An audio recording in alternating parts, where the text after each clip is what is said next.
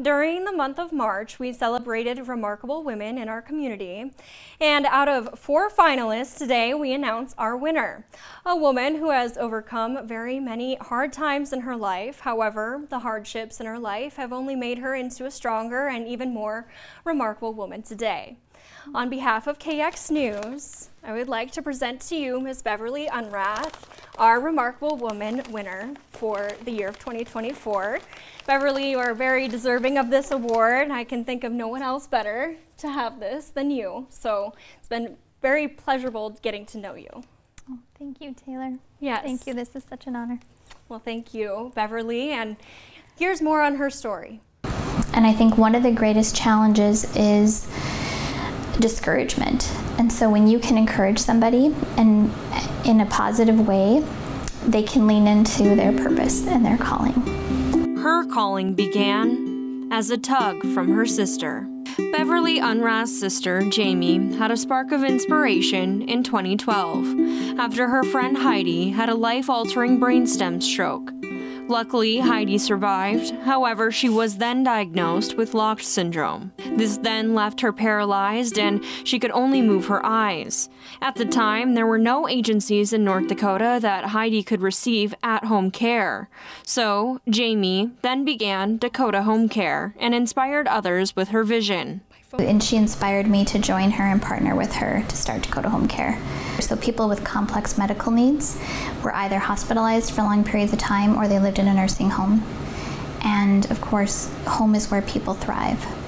So my sister started Dakota Home Care to be able to provide in-home nursing care, which is one-on-one care provided by a registered nurse or a licensed nurse um, for extended periods of time, usually 12 to 24 hours a day. From newborns all the way to people in their triple digits, Dakota Home Care has helped many families across North Dakota in the 12 years that it's been around serving as a place of hope to those across North Dakota who need a lot of care even in rural communities.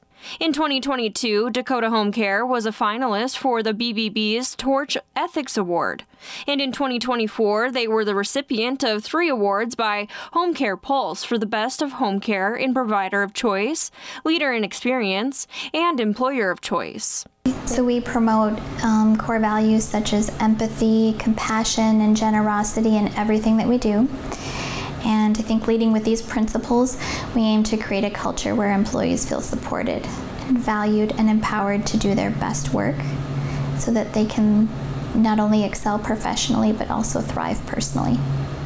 However, over the years, Unrath has dealt with very hard times. She's lost very many people in her life. The same year that they began Dakota Home Care, her brother died by suicide. A few years later, in 2018, her mom passed from Alzheimer's, and her father died from cancer in 2020. Two years later, her sister Jamie passed away from cancer as well. Instead of giving up, Unrath used her grief as a way to better understand others and implement empathy and compassion into her work. Unrath says that losing so many family members tragically within the last 10 years, all while raising kids and starting a business from the ground up, has been challenging. However, through it all, she was able to develop resilience and strength that empowers her to be a more empathetic and strong leader.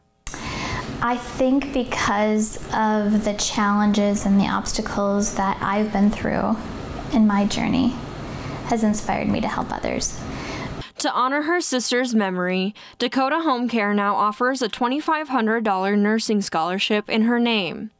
And now, a couple years later, Unrath is being nominated for KX News' Remarkable Woman Award, an award her sister was also nominated for in 2021 you know, it's hard to consider yourself as a remarkable person. And so, really, what I, I did was think about, you know, the people in my life that have inspired and empowered me to be remarkable. And my sister Jamie's determination and her vision for Dakota Home Care is what inspired me.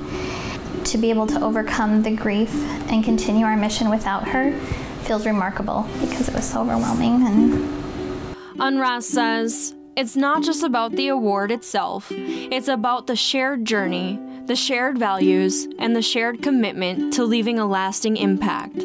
She says, It's a great reminder that a little of my sister will always live in me. She also volunteers for SCORE, where she gives free mentoring to those who wish to start their own business. And she also serves uh, and supports the Alzheimer's Association and the American Foundation for Suicide Prevention. And if you ever get any free time, what do you like to do? Um, well, I have free time. I love to spend time with my family and friends. I love the Missouri River. I love the lakes, Lakes Sakakawea. I like to, I'm looking forward to summer and yeah, I mean, I think we're all looking forward to summer. and now you get to go to LA after this, um, coming this week. You get to head to LA and with 112 other remarkable women throughout the U.S. And there she will get the opportunity to participate in some activities and marketing events. So it sounds really exciting for you. And once again, I can't think of anyone more deserving than this. thank you, Taylor. Yes. I appreciate it. Thank, Thank you very you much. so much, Beverly.